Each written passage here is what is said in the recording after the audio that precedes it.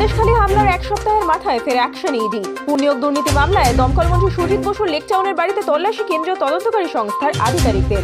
পুনিয়োগ দুর্নীতি মামলায় তল্লাশি চলছে তৃণমূল বিধায়ক তাপস রায়ের বউবাজারের বাড়িতেও। সূত্রের খবর, নথি সংগ্রহের পাশাপাশি চলছে জিজ্ঞাসাবাদ পর্ব।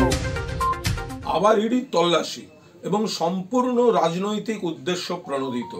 এই গোটা ঘটনাটা ঘটছে বিজেপির অঙ্গুলি হেলনে বিজেপি তৈরি করে দেওয়া প্রতিহিংসা রাজনীতির স্ক্রিপ্টের উপর দাঁড়িয়ে।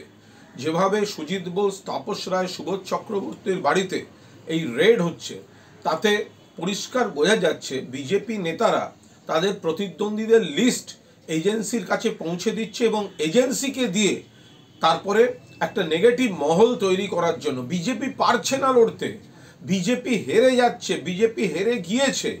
তাই তারা ব্যবহার করছে, কখনো সিবিআই কখনো ইডি কখনো এনআইএ এজেন্সিগুলি দিয়ে হ্যারাস করছে।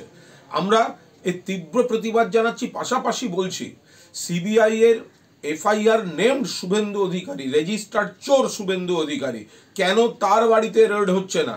সারদার অভিযুক্ত, নারদার অভিযুক্ত, কেন শুভেন্দু অধিকারীর বাড়িতে রেড হচ্ছে না?